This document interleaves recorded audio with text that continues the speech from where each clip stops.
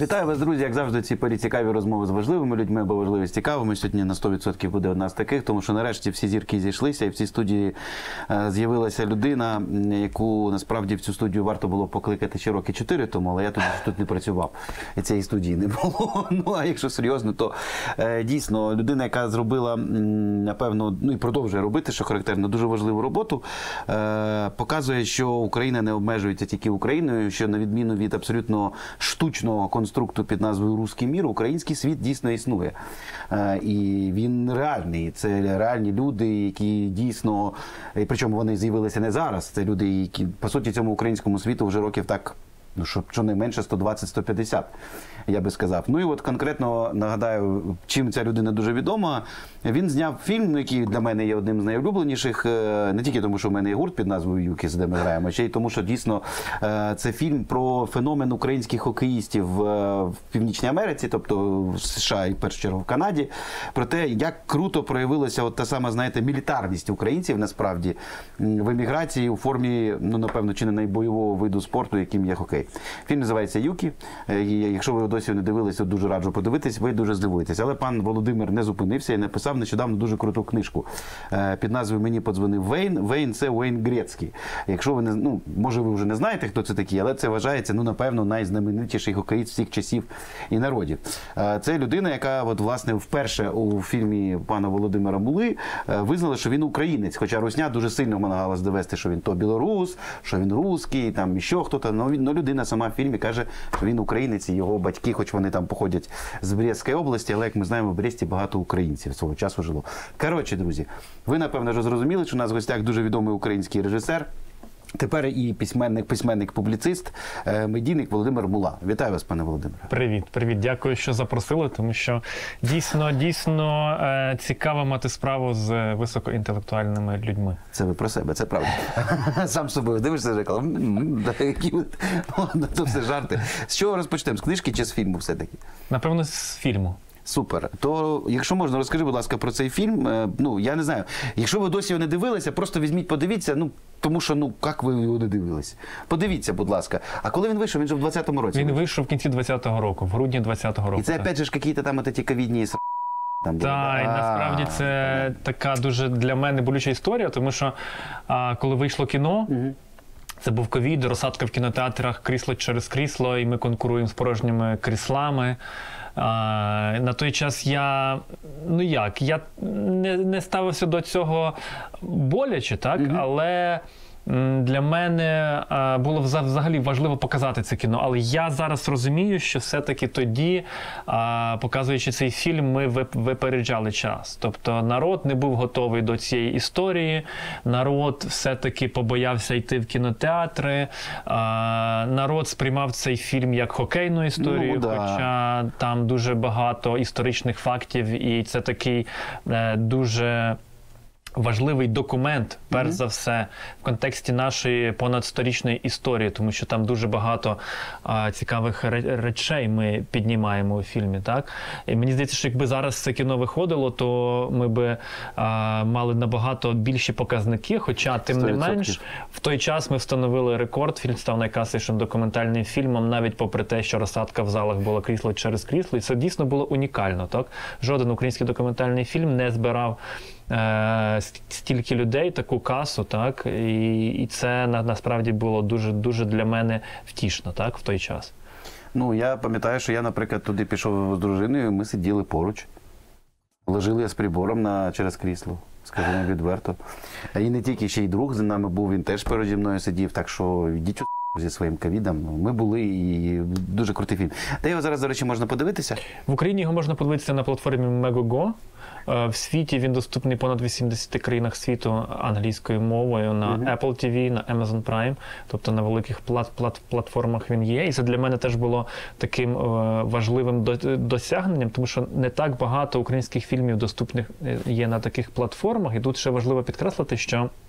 Він доступний не українською мовою з англійськими субтитрами, який ну по суті дуже важко дивитися, Ну, важко конечно. сприймати. Він доступний англійською. Тобто, коли люди дивилися кіно в Сполучених Штатах, в Канаді, в них навіть гадки не було, що цей фільм зроблений в Україні. Наскільки якісний продукт ми змогли зробити, тому що конкуренція на тому ринку ну дуже висока. Так і те, що умовно кажучи, цей фільм зараз стоїть поруч там умовно з фільмом про Вейна Грецьке чи з фільмом про Red Army, який до цих пір дивляться там. Так це насправді дуже важливо, тому що людина, яка подивилася одну точку зору, має змогу подивитися зовсім іншу. І насправді для багатьох людей до цих пір в світі є велике відкриття, що так багато українців вигравало Кубок Стенлі.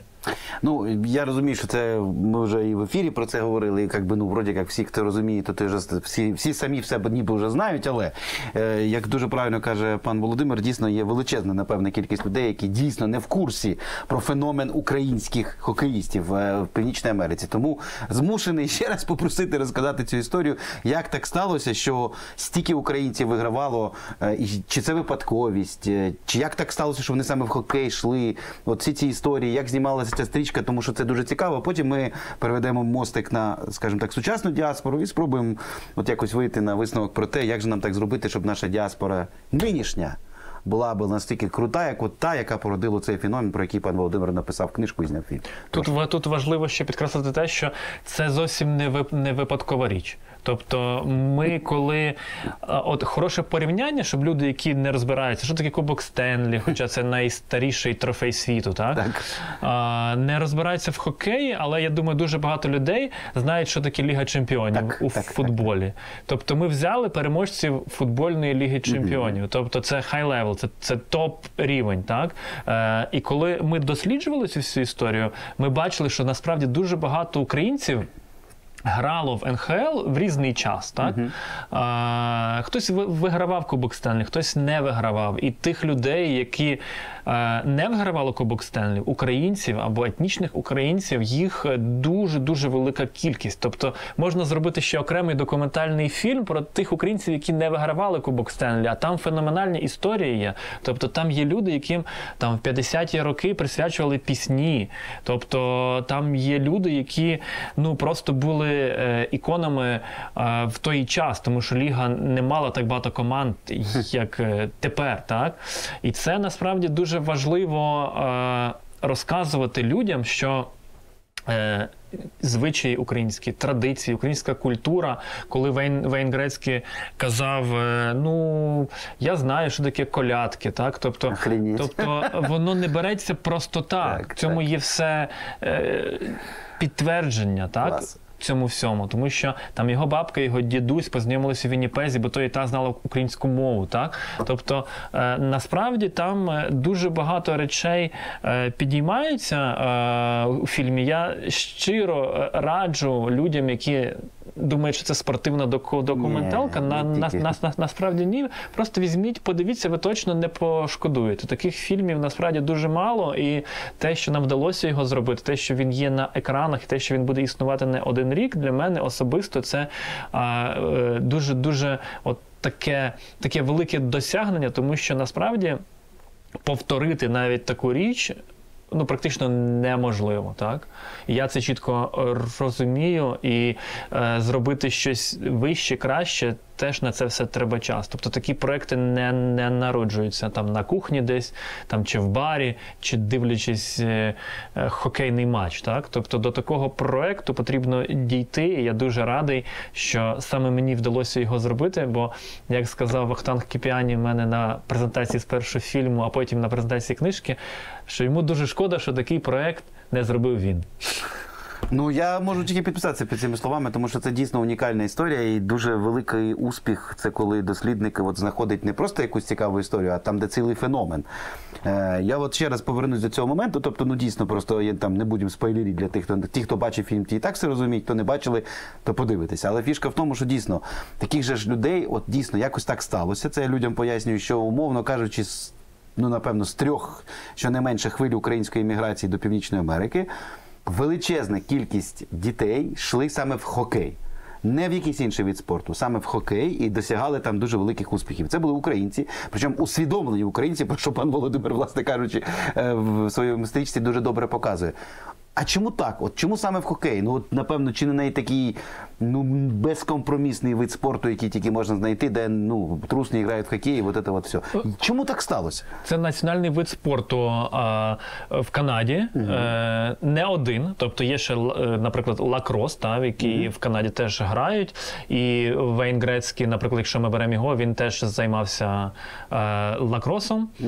А чому хокей? Насправді. В цьому є дуже просте пояснення, тому що е, зими довгі, е, нічого робити особливо. Але є важливий нюанс. А, традиційно е, хокей потребує еквіпмента, обладнання, обмон, обмундирування, так, Недешево, так, досить так би недешево. мовити.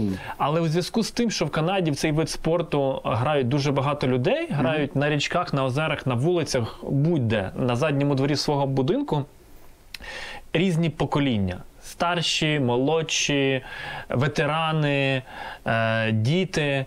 І як переповідав е, Ерик Нестеренко, він народився в містечку Флінфлон в Манітобі, і в них на вулиці була така історія, що цього обладнання, тобто ключок, шайб, було так багато, що воно просто передавалося із рук в руки.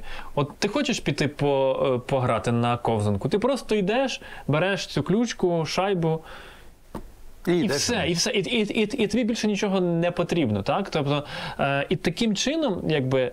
Старші хлопці передавали цю практику молодшим дітям, і традиційно е, всі настільки були, як то кажуть, involved всередині оцієї всієї гри, так що е, ні, ні до чого іншого в них бажання і не було. Я навіть про це писав в себе в книзі. Ну, для мене це було відкриттям, так що, на- наприклад. е, це відома історія, що баб, бабуся Вейна Грецькі була першою, хто зводив його на повноцінний хокейний матч в Торонті. Після того він звернув увагу на саме на цей вид спорту і почав займатися хокеєм.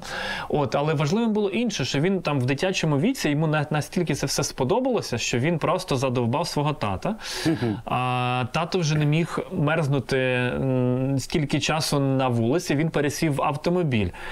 Е, І поки Вейн е, вправлявся там е, з шайбою, він сидів в автомобілі. Потім тата і це за- задовбало, що він вже не міг сидіти скільки часу в автомобілі. Він побудував для Вейна на задньому дворі свого будинку ковзанку. Маленьку таку типу, А перед цим він розбудував свою кухню, він зробив там велику.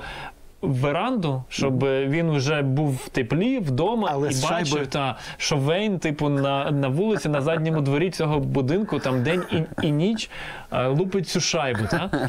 От, і це теж, і, і це насправді е, показує зовсім іншу річ. Це показує, коли батьки готові йти на деякі некомфортні, ну, пере, перебудувати свою хату, щоб умовно дитина могла займатися хокеєм. Ну, мені здається, такого божевільного ще треба знайти, правда? Ну, Це Але... крутий батько, молодець. Але насправді це дуже показова історія. Так? Це дуже показова історія, тому що потім е, його тато. Ми так вже плавно перейшли до персони грецького, але його тато став е, ну, дійсно хокейним татусем для інших дітей по Канаді. Так?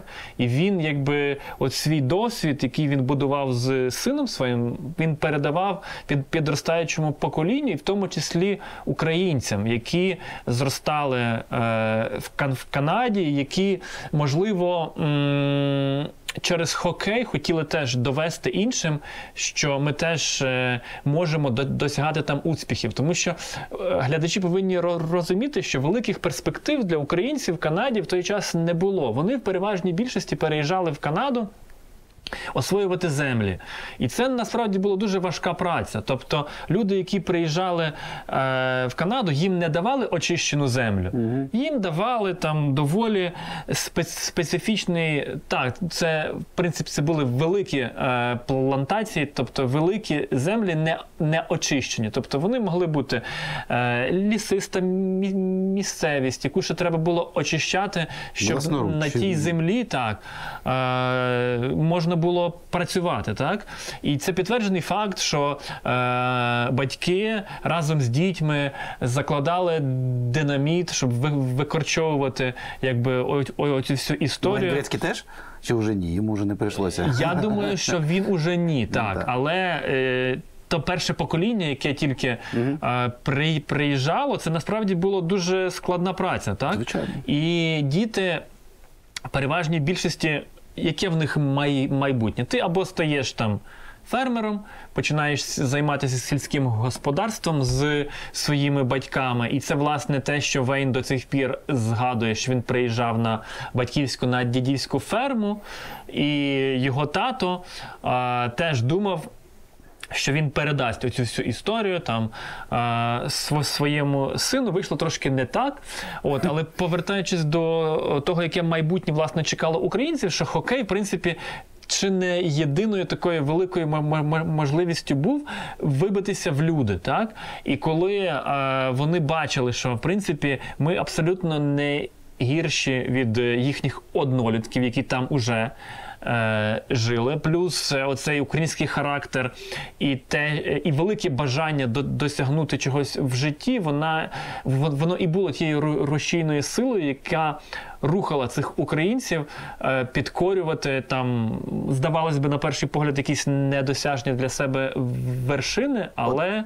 Хотів, пане Володимире, от я sorry, що на секундочку зупиню, але просто от я в цей момент хотів окремо на нього загострити увагу. Я просто коли дивився цей фільм, е, бо ну я скажу відверто, я та знав там понятне про існування цієї трійки, знаменитий цього вратаря Теріса Так, так, і так так. далі. Але я чесно скажу, навіть я не розумів масштабу цього явища, Uh -huh. наскільки багато їх було.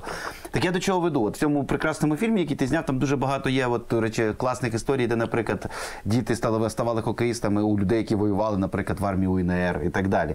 І от ти сказав слово український характер. Виправ мене, бо я просто який висновок зробив от з того фільму. Я не знаю, чи ти погодишся, чи ти закладав цей висновок, але от цікава твоя думка. Що оця війна, до речі, дуже добре показала насправді, наскільки Русня дуже багато прикладало е, зусиль для того, щоб показати, що українці це тупі саліки, що вони от класний образ українця це оцей пацюк із е, вечорів на хуторі без дігань. Так, Такий так, сильний так, так, і так, тупий дебіл, який всю свою силу направляє на те, щоб жрати вареники без руки. Е, ну, власне. А раптом виявили, що українці це насправді все своє життя воювали, що ми супермілітарна нація, що ми нація, яка насправді воює чи не найкраще в світі. Може, і це стало от, е, причиною, чому так класне діло пішло в тій грі. Ну, це ж гра воїна. Ну, в хокей там, ну, м, как би, якщо ти слабкий, ти не причому в першу чергу навіть не фізично, а тут ти не зможеш грати, бо це жорстка гра, очень жорстка гра. От е, це правильний висновок, чи це я вже собі придумую щось? Е, ні, абсолютно. А я можу пристати на цю думку, тому що. Я навіть от беремо приклад е, батька е, Ерика Нестеренка. Так Е, Яків Нестеренко він брав участь в другому зимовому поході. Він дуже багато потім зробив для популяризації української культури, української мови в Канаді. Не без того. І він фактично був змушений покинути Україну. Само собою. А, хоча Ерик йому розповідав. Е, е, Ерик Батько. вже, вже нам розповідав в інтерв'ю, що його батько не, не, не дуже хотів розповідати йому про ті страшні речі, які відбувалися на території українських е, земель в той час. Його можна зрозуміти. І, і гляд- глядачі теж ми це старалися пере, передати цей зв'язок, бо ви повинні розуміти, ми приїжджаємо до Ерика, який живе у Вейлі д- в Колорадо. Перша, ну, перший такий особистий контакт, не розуміючи, власне, чого від нього очікувати. І ми до нього заходимо в оселю, а він читає книжку Історію Голодомору Ен Еплбом Офігеть. про те, що власне відбувалося. Ну тобто, це не постановна річ. Та я Тобто, розумію, це круто. ми приїжджаємо, і він в нас починає розпитувати. Він каже, що щось у мене тут не клеїться, тому що батько не дуже хотів мені розповідати, що, що, що там було. І потім же я, коли почав досліджувати ці всі документи, я побачив, наскільки великий внесок Якова Нестеренка був е, в Канаді за рахунок, в тому числі його активності, там українські традиції збереглися до цих пір, тому що та можна сказати, що це був там уряд в екзилі і все таке, що вони все, все одно намагалися якось е, вирішувати ці питання, навіть будучи далеко от, від України, так?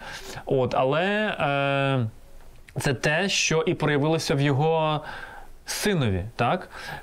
І тут важливий нюанс ще полягає в тому, що в Україні забули е, взагалі, хто такий Нестеренко. Ми, ми були власне з Миколою Васильковим, сценаристом. Ми поїхали спеціально в село на Чернігівщину е, Рудня Козлецького району. Ми віднайшли найстаріших людей, які там, які, які, які там були.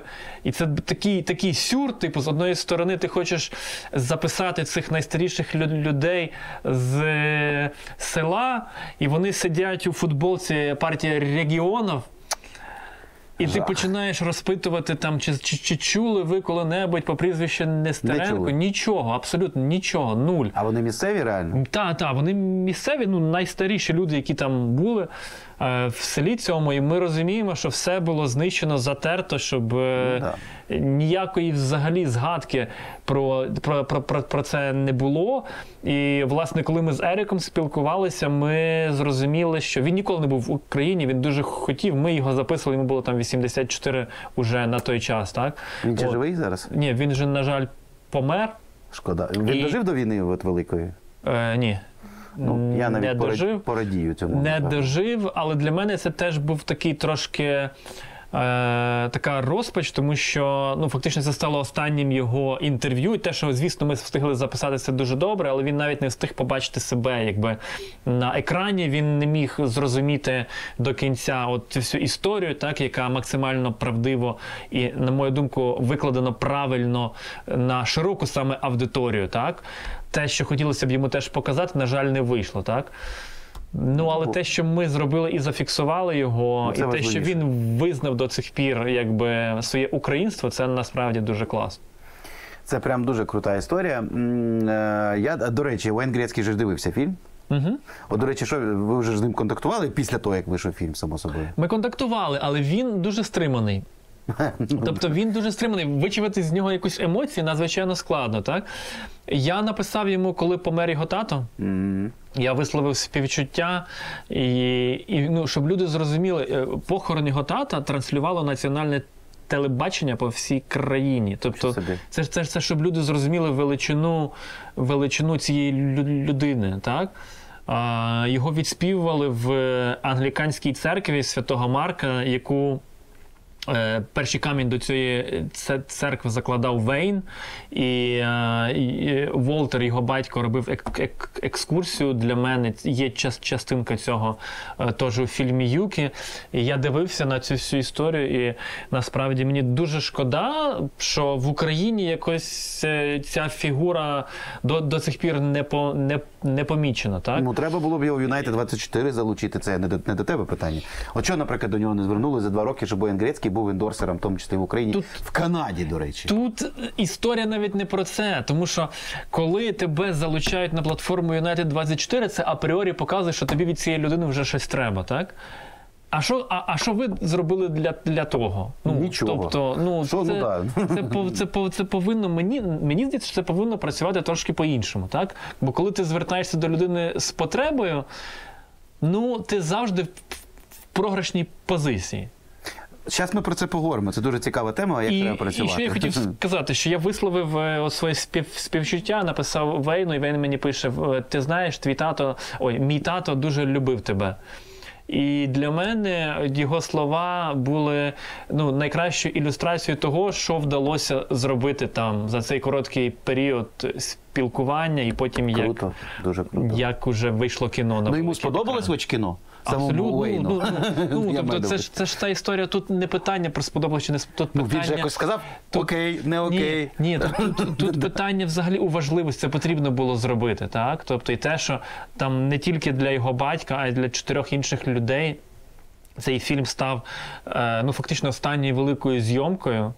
Це мені здається, це на, насправді більш важливо. Я згоден на 400%, бо вашу роботу дуже вашої команди дуже важко просто переоцінити, бо ви дійсно встигли. Ми, ми найчастіше вже не встигаємо. От ніколи за всіма тими людьми, яких варто було би зняти для України, там е, з ними поговорити. От майже ніколи. От ви встигли. Це дуже круто. І от власне таке враження, що от реально вони почекали, поки ви до них приїдете. Україна про них задає, тільки потім вони всі дружно пішли. Ну, це логічно, в принципі, так мало бути по віку вже, напевно, але все одно дуже добре, що ви їх зняли. Але от, до речі, хотів про що про тебе спитати. Ти, я думаю, бачив, який величезний скандал був в Канаді після того, як останній приїжджав президент Зеленський. І тут питання не до Зеленського, а в тому, що прийшов е, е, і запросили дуже поважну людину, яка була дивізійником е, дивізії Галичина. Ну і потім дуже некрасиво себе повели, я вважаю, канадський політикум і так далі. Тобто людина, яка в свого часу прийшла перевірку парламентської комісії, сама структура. Потім він був підданий обструкції, змушений був покинути Канаду, і там всяке лівачі обіснуються і так далі. Менше з тим, мене насправді всі ці історії, я навіть не про українську державу, хоча це теж дуже дискусійне питання, чому е, наш е, ми так. Пасивно поставилися, просто використовуючи, типа, е, ну він же не був українським громадянином. Ну так чому ми будемо захищати? Ну, оце був аргумент України. Але мене от що сильно, сильно, сильно, сильно прям вразило, це інертність того, що ми називаємо українською канадською діаспорою. Тому що. Знову ж таки, ти ж там був і дуже багато з ними спілкувався. І для нас, знаєш, от мені здається, для, нашого стового покоління, знаєш, канадська діаспора це як знаєш такий. В хорошому смислі такий мем про таку, знаєш, патріотичність, таку навіть таку аж. А потім ти на це дивишся, і, ти, і я так розумію, що в принципі українська діаспора там починає потихеньку сходити на пси, бо люди вже поступово перестають себе асоціювати з Україною. І чому знову ж таки от дуже важливий твій фільм, бо він встиг зафіксувати те, що було, а чи є якесь майбутнє. Ну зараз от новий буде сплеск. ну, Туди ж пару сотень тисяч людей поїхало в Канаду, наскільки я розумію. Коротше, от дуже цікаво твої міркування з цього приводу. І ти останній закриваю рот. От ти сказав, що не так треба працювати з тими людьми, які там. Ну от, наприклад, навіть такими, як Оєн Грецький. От дуже цікаво твої рефлексії на цю тему послухати. Я можу сказати непопулярну річ, так, або річ, яка, можливо, буде здаватися дивною. Але насправді мені українська діаспора е, майже не допомогла. От так навіть. Е, мені допомогли е, в контексті фільму м, окремі люди. Угу. яких я розділяю. Е, тобто я не вважаю їх. Е, Діаспорянами чи е, людьми, які належать до якихось організацій, так я все-таки просто вважаю їх українцями, які живуть і працюють в Північній Америці. І цей контакт здобувався е, особисто мною в різний період часу, коли я приїжджав своїми фільмами, своїми презентаціями, з ними знайомився, заводився такий теплий контакт, е, відбувався, так би мовити, меч. І е, за рахунок цього вони, е, бачачи, що я роблю, що я намагаюся зробити, як я намагаюся до- до- донести тут в Україні враження про цих українців, вони їм це дуже подобалося, і вони чисто по-людськи хотіли мене підтримати в моєму е, прагненні. А якийсь там всесвітній конгрес українців, якісь Нуль. там. Ні всесвітній А ти з ними спілкувався? От ти з ними так, ти... Я, що вони казали? Я, я зустрічався із світовим конгресом українців. Вони надували щоки, казали, що так, пане Володимире, ви робите, Хорошу ви справу. робите важливу річ, але ми особисто не приймаємо рішення. Нам треба зібратися, там зібрати нашу раду, чи зібрати там е, наш комітет і прийняти рішення про те, чи підтримати вас, чи не підтримати. От і я кивав добре, я давав, я писав листи, я надавав е, інформацію, що я роблю. Я ходив е, і в Україні, в Києві безпосередньо в їхній офіс е, в урядовому кварталі. І я спілкувався безпосередньо з керівниками різних організацій е, і в Америці, і в Канаді. І нуль. Ну, нуль, так? А, причому це насправді трохи змінило моє уявлення, тому що, е, ти знаєш, а, мені здавалося, що я роблю про проекти, про українську культуру, про великий внесок українців в світі. Про те, як насправді ці люди е, плекають в собі українство, і це ті, мені здавалося, меседжі, і той фундамент, на якому і стоїть світовий конгрес українців. Ну, по ідеї. І він ж там не один, там вже багато структур. Бо от, от е, це от знову ж таки, от про що ти зараз говориш. Я просто не можу зрозуміти. Тобто, я навіть не кажу там про історію дивізія Галичина і так далі. Але та людина, от цей, цей 92-річний дідусь, який приходив, це мало того, що він пройшов це комісію Дешена 80-х років. Менше з тим, це ж ваша людина. Ладно, окей, українська держава, як завжди, себе повела як повна свиня. Але це ж ваша людина, людина, яка давала гранти на величезні університетські проекти і так далі. Це ж не якийсь бомж з-під забору прийшов. І жодне стерво рот не відкрило, щоб захистити людину. Оце для мене просто якась ну, річ, яка просто на голову не налазить. Так а де ж тоді канадська діаспора? В чому вона проявляється тоді? Розкажіть, приїхати раз на 20 років і сказати, чи не хочете ви скуштувати strawberry? Ну, come on, друзі. І тут треба, ну це насправді таке дуже глибоке питання, так на яке можна весь вечір це е, дискутувати. Зараз і будемо. От, але тут важливо зрозуміти те, що дійсно, що мені е, допомогли е, точкові люди. Так? Тобто е, мені е, я точно оце при- пригадую, я шукав, е, де відзняти дітей, бо мені потрібно було. А то ви в Канаді знімали. В Канаді, так, так. Ми знімали. Е, е, Гірбет Плейн це така місцевість неподалік Вінніпегу. І від, від, відгукнувся е, Мирон Затварницький з організацією. Є така організація, називається Канадські друзі хокею в Україні. Прикольно. Вони що роблять? Вони свої гроші. Витрачають на те, що купують там обладнання, е, збирають це обладнання з цієї Канади, пакують і надсилають до України, щоб діти тут е, Займалися. мали можливість хоча б стати на ковзани. Так? От, я до них звернувся, і вони точково хтось. Е, на своїй часниковій фермі розчищав е, е, Ну, майданчик такий. простір, щоб зробити льодовий май- майданчик, залити кригу. А залити кригу це доволі непросто. Тобто її треба залити по-правильному, щоб вона була без Ну, рівною, оцих да, да. всіх штук, бо діти повинні кататися, так? А не хтось, хтось збирав цих дітей, хтось е, чистив сніг. Тобто, це точкові були дійсно люди, які просто чисто відкрито хотіли мені допомогти. Це, це, це навіть не фінансове питання, так? Тобто, це, це вже бу, я був на тому етапі, коли держава мені допомогла, я отримав фінансування на це кіно. Ну, це і, дуже добре. І, і я розумію, що без цього, без цього я би не зміг зак- зак- зак- закінчити, бо всі мої е, потуги отримати бодай якесь фінансування а, зі, зі сторони великих організацій, які дійсно мають на це кошти, тому що вони проводять українські кінофестивалі, де там продають вареники, співають пісні. Так, тобто в них є на, на це кошти, так? А, А на те, щоб довести і зняти фільм про те, що Уейн Грецький це українець, на це грошей і бажання не знайшлося. І для мене це було ну для мене це було дивно, так? Типу, мені кажуть, ну ми тебе тоді не знали, ми не розуміли, що ти зробиш чи не А зробиш. Google ні, ну, відкрить, так, хто, а- хто а- такий ти, Микола Васильков, А, але, з- але з іншої сторони, ну а, а як ну а як мені довести, що я це зроблю? Так? Ну я це взяв і зробив. Так? Ні, та, а що ти зробиш? Візьми гроші і втечеш чи що? Я не розумію. І мені дуже мені дуже імпонувала і, і, і, ідея цих точкових контактів. Так, я відкрив там збірку на Фейсбуці. А, ми зібрали а, гроші. Там люди, які, які мене знали, які живуть в Америці, в Канаді, від, від, відгукнулися дійсно показали на, наскільки це важливо, в тому числі і для них. І я в той час. Я всіх зап- записав, кожне прізвище записав, кожного вніс в титри. Там титри фільму йдуть хвилин 5. Але для мене це було важливо. Це те, що я міг якби увіковічити цих лю- людей і довести, що я пам'ятаю про кожного, який на певному етапі мені допоміг. Бо насправді це було дуже складно. Тобто, в мене був період, що я був змушений там.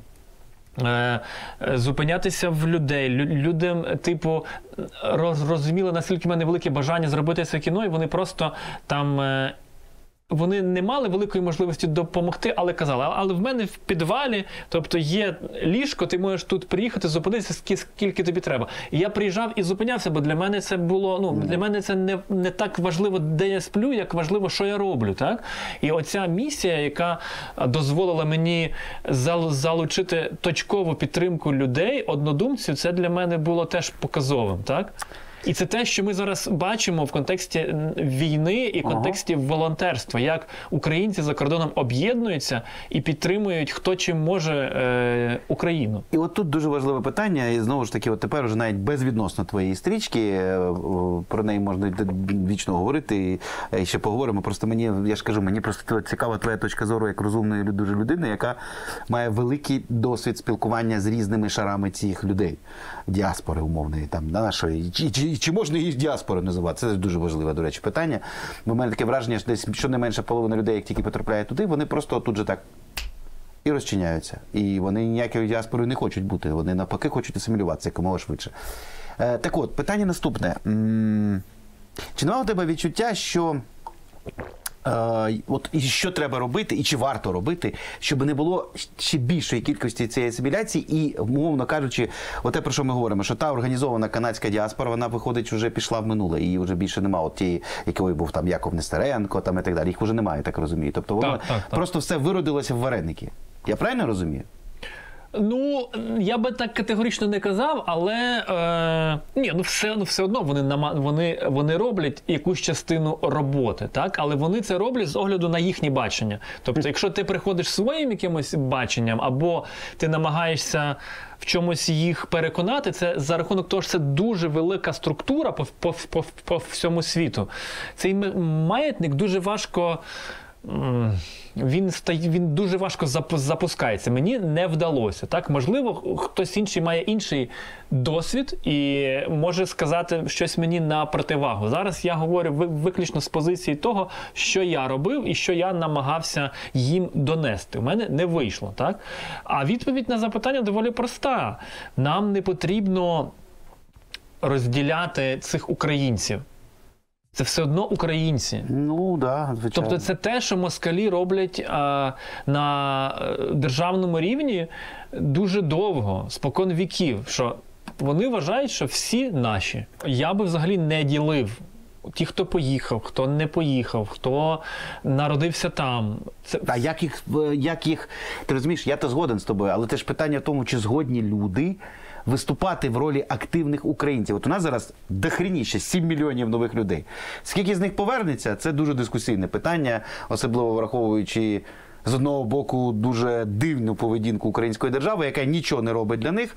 Ну з іншого боку, зараз дійсно напевно складно щось робити, але тим не менше ускладнюємо життя як може, давай скажемо так. І що зробити, щоб вони були такими, як Яков Нестеренко, щоб їм це було треба, щоб вони навіть сидячи, знаєш, в якомусь таборі для біженців, створювали Мюнх- Мюнхенський вільний університет, умовно кажучи. Що для цього треба зробити? ну дивися, багато українців таких є.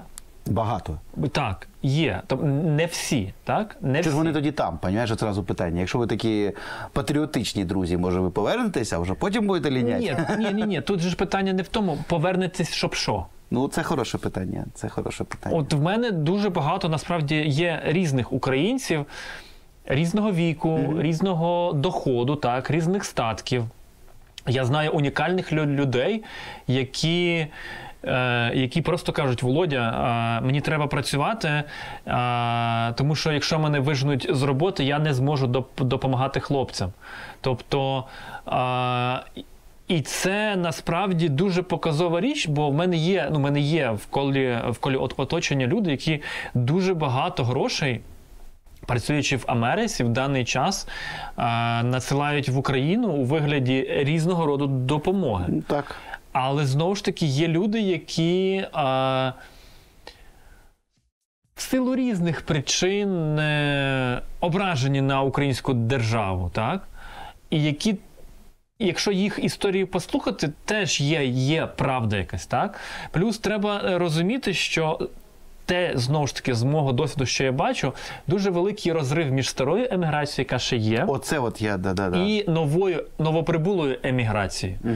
Тому що е, і, і, і там теж моноліту немає, так? Тобто немає єдності, навіть якщо ми беремо Сполучені Штати, то ти не можеш сказати, що там українці об- об'єднані там із сходу на захід. Тепер більше. Тепер у нас є спільна пам'ять. Вона на кожному кладовищі майорить ця пам'ять, розумієш? Цього раніше не було, тепер вже є.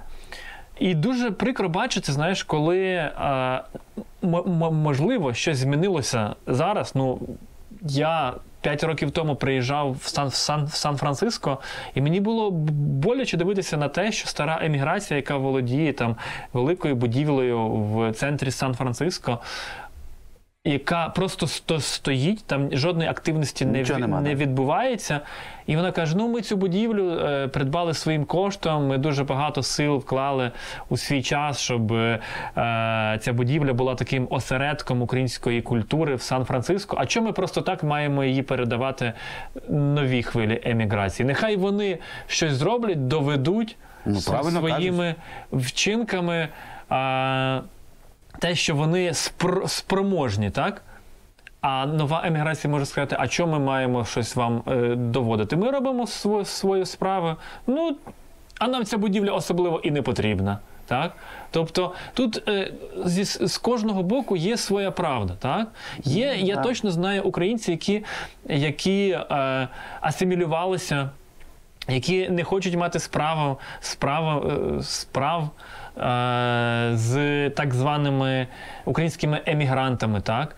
Е, але вони від того меншими українцями не стають. Вони продовжують, продовжують підтримувати військових, вони продовжують брати на роботу українців. Так? Це теж якби важливо.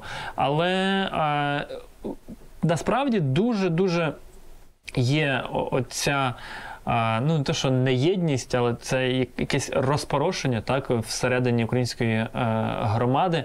Хоча, можливо, хтось скаже, що це нормально. Та тут е, це безумовно нормально. Люди знаєш, різних поколінь, вони по-різному потрапляли. Знаєш, одна справа, коли ти, умовно кажучи, тікаєш від наступаючих рашистських військ. Хоча в нас теж тепер так само люди потрапляли на захід. Хрін його знає. Ну, напевно, ті люди, які переїжджали, умовно, там 90-ті, 2000-ті, там 2010-ті, коли там не було війни, то це трошечки інший підхід. Це люди, які свідомо вибирали поїхати в іншу країну, там поміняти батьківщину. До речі, от що парадоксально, напевно, от тільки що самому голову прийшло от в розмові з тобою, що. Певно, виходить, що та е, наша еміграція, яка от зараз, з 2022 року, вона набагато більш подібна до того, що було в 45-му, умовно кажучи. Бо причини ті самі. А, інша справа, коли люди їхали самі, все-таки, знаєш, навіть перша хвиля еміграції, бо вони просто. Є одна, Ну, є одна важлива відмінність. А ну. Ті люди, які виїжджали в 45-му, Так. вони приїжджали без нічого, без грошей, Ну да. без е, в когось контакти були, в когось контактів не було. І вони приїжджали і були готові працювати на будь-якій роботі. Ну, щоб вижити, звичайно. Вони були готові до, до всього. Зараз я навіть спілкуюся з людьми, які живуть довгий час, працюють довгий час. Ті, тій же Америці кажуть, при, при, приїжджають українці, вони не хочуть працювати. Фігеть. Вони приїжджають запаковані. Можливо, не всі, але є велика маса людей, які при- починають приїжджати і, і, і качають права свої. От жив, жив- живий приклад. У мене є е, е, хороший друг. Він старшого віку, він має свою клініку, е, приватну клініку в Чикаго. Так. Він е, дуже довго, він, е, він дуже довго вчився, плюс от мати е, от приватну практику як сімейного лікаря в Штатах, воно потребує е, не просто знань, воно потребує. Кожного там не знаю 10 років, чи можливо якийсь менший термін оновлення твоїх Фаху, знань. ну, Так, да, да. тобто ти все одно йдеш на екзамен, тобто ти, ти повинен весь час бути в тонусі, так? От, і він каже: е, я буквально з ним нещодавно спілкувався, і він каже: Ти знаєш, Володю, в нас змінилося, от змінився м, сегмент людей, які почали до мене приходити. Е, вони, як того, що, що, що, що я бачу, приїжджають і починають качати свої права. Типу, починають, поч- які права? починаючи з того, що починають зразу російською спілкуватися, і закінчуючи тим, що а почему я должен вот это стоять в очереди, пере, перемійте мене і вот это все, знаєш? І він каже: я абсолютно ло- лояльно з розумінням став, ставлюся Угу. і каже: але послухайте, в цих стінах говорять тільки українською. Якщо, якщо вам щось не, під, не підходить, Я ласка. українець. Що ви мені нав'язуєте свою і він каже, що, і він каже, що проходить час, і люди стають при- приземленішими. Знаєш, вони такі, ага, типу, треба при, приймати ті правила гри, які тут, тут, тут є. І вони в тому числі змінюються, так? Але оцей пафос. Він нікуди не по не А подівся. Звідки цей пафос взагалі береться, я от не можу зрозуміти. Це не до мене питання. Я розумію, вже А- просто. Я для я слухаю це думаю. я, і, я, і, і, і тут ще є один нюанс, що ті люди, от дійсно, починаючи там після закінчення Другої світової і навіть до так званої а, ковбасної еміграції, так, е, на початку 90-х, а, ті люди реально були готові працювати там за мінімальний рейд. Е, Зараз е, є багато людей, які просто не, не, не готові. Вони доходить до такого, що люди при, при, приходять там в тракову компанію влаштовуватися, знаєш. Угу. І вони заходять в цей інтер'єр, типу, бачать, і вони кажуть, то в нас в Україні немає вже таких інтер'єрів. Що тут не можете собі поставити нормальний стіл? Людина прийшла влаштовуватись на Так що ти приперся? роботу. Повертайся, та і живи тут, працюй. І ні? це, і це, ну і, і це дійсно підтверджені факти. Тобто, це, це те, що люди, ті, які не за один рік здобули собі хорошу зарплату, хороші будинки, ну тому що вони Працюють. працюють так. Чогось досягли, і вони от, оце бачать, і вони такі. Слухай, ну тоді питання виникає, розумієш, щоб підсумувати нашу з тобою розмову. Це ж зараз оці всі крики, паспорти, нам треба берегти своїх громадян. Я розумію, як при цьому військовим це чути, які кажуть, клас, ребятки, ми два з половиною роки не вилазимо з гівна крові і, і всього, а тут ребятки, що права качають. Ну, типу, ви нормальні, да?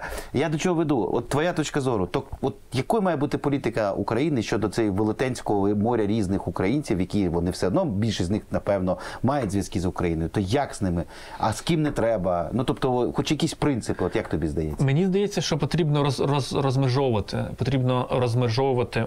Хто скаже, що це неправильно, хто скаже, що це правильно. От моя суб'єктивна думка, я би принаймні розмежував тих українців, які на постійному, е, які мають постійне місце проживання, живуть, працюють вже не один рік, і тих українців, які просто звалили От зараз. Зараз так. І теж, типу, хочуть мати ті самі права, що українці, які е, освоїлись на е, нових для, для, для себе е, місцях, так? Мгм. А, тому що, ну, теж живий приклад. У мене є знайомий, який працює в дуже великій кор- корпорації, it компанії е, довгий час живе і працює в Америці, дов, довгий час. Він е, хотів оновити паспорт, він зараз це не може зробити. Причому він спеціально не брав е, американський паспорт, хоча він це міг зробити, тому що ті люди, хто живуть на постійному місці проживання Ну, да. в Сполучених Штатах більше як 5 Є. років. Вони можуть дуже легко піти отримати американський паспорт. Ну багато людей цього просто не робили.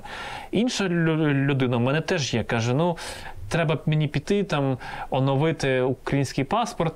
Типу, він теж цього не робив, тому що як такої потреби не, не було в нього. Так? Він особливо нікуди не виїжджав, в нього є посвідка на постійне місце проживання. Живеш, працюєш. Все, все чудово, так? І тут зараз виходить така ситуація, що всіх під е, одну оцю постанову, так? Які... Ну я знаю, що тобі скажуть військові. Я думаю, ти сам знаєш. Знаю, так. Вони тобі скажуть, ну клас, а у мене купа людей, вибач, е, навіть з паспортами тих країн приїхало воювати в 22-му році. А ці не можуть просто піти там якусь справку здати. Ідіть ви. Ну, ти розумієш. Так, тут це дуже складне питання. І є правда і тих, і тих. Ну, Звісно, от я не, не розумію. Причому це теж правда, що ми втрачаємо величезну кількість людей. Хріново, дуже хріново. А хто має, має більше поваги? Той, хто на фронті, чи той, хто теж. Ну от я чесно, я навіть не знаю, яку відповідати. Чому дуже цікаво твою точку зору послухати, як людину, яка написала і зробила фільм саме про от феномен діаспори. Прикольний, розумієш? І тут ще важливо, знаєш, е, я би все-таки, ну, звісно, й- так не можна казати, але мені здається, що все-таки треба все одно більше працювати з українцями за кордоном і принаймні, принаймні показувати на державному рівні, що держава готова прийняти цих лю- лю- людей. Так? Тому що от дійсно є велике питання.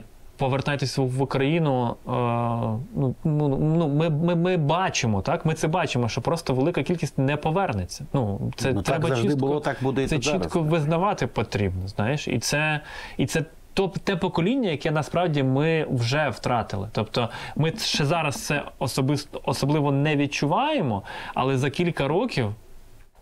Ця е, штука дуже сильно про- про- проявиться в українському суспільстві.